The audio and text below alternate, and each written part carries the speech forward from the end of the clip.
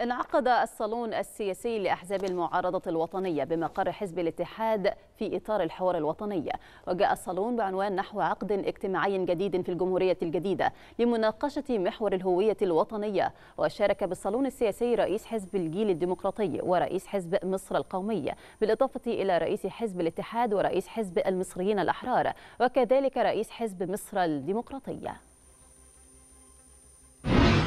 الهوية المصرية ده أمن قومي الثقافة المصرية ده أمن قومي. لأن النهاردة الشعوب بتتقدم وبتزدهر بالحفاظ على هويتها الوطنية لأنها مرتبطة بوطنيتك وبلدك وانتمائك لمجتمعك وبلدك. وأيضا قوة اقتصادك مرتبط بهويتك لأن كل ما تتضافر الجهود وتتجمع لصالح الدولة تزدهر في كل شيء. فتبقى رائد في في الأعمال وتبقى عندك اقتصاد قوي وتحد من الأمراض وعندك كمان عندك كمان تحافظ على حضارتك وتاريخك. إحنا بنرى إن الهوية الوطنية أيضا من أهميتها إن إحنا نحافظ على لغتنا العربية وإن ونحافظ على الأجيال الجديدة والأجيال الصاعدة. والحفاظ على الأجيال الجديدة والأجيال الصاعدة يتطلب أيضا إن إحنا يبقى في مناهج مناهج تؤسس لذلك. لذلك إحنا بنبحث في هذا الصالون إزاي نعالج المناهج اللي موجودة في المدارس الدولية وإزاي تبقى اللغة العربية لغة أساسية وإزاي يبقى طابور الصباح وتحية العلم أساسي لهؤلاء الطلاب مثلهم مثل طلاب المدارس الحكومية أو المدارس الخاصة. فكان لازم يبقى فيه من أحزاب المعارضة الوطنية أن تعمل نوع من التوعية للشباب للمواطنين بعدم الانسياق مع هؤلاء أعداء الوطن.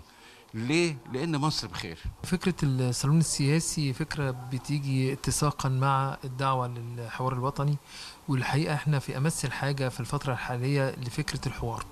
آه النهاردة إحنا شايفين آه الفكر المصري كل المفكرين وكل السياسيين وكل المثقفين في حالة حالة ازدهار حواري حالة عايز أقول إرهاصات وحالة نقاش وحالة أفكار وعصف ذهني كله بيصب في المصلحة الوطنية لأن في الآخر لما كلنا بنجتمع حول هدف واحد هو ده اللي مطلوب في المرحلة الحالية.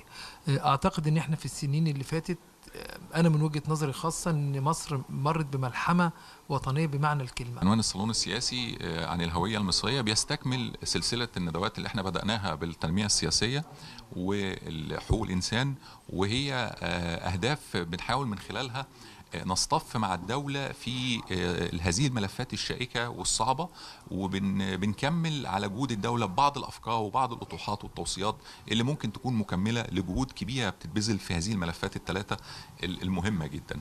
ملفنا النهاردة عن الهوية المصرية هو يمكن يكون الملف الأخطر لأن اللي تعرضت له الهوية المصرية خلال العشر سنين الأخيرة الأخيرة كان صراع كبير جدا ومحاولة تفتيت وتشويه وتوتير للهوية وللشخصية المصرية؟ الموضوع بيبدأ من نشأة يعني أنا شايفة أن مرحلة التعليم الأساسي دي مرحلة مهمة جدا أن إحنا نزرع في الأولاد الانتماء للوطن وإزاي يكونوا الهوية بتاعتهم عن طريق يعني وسائل صحيحة. لأن أنا دلوقتي طبعا عندي الرقمنة وعندي التحول الرقمي وعندي الحاجات دي كلها والولاد كمان وزير التعليم عامل لهم أبحاث ودي حاجة حلوة جدا.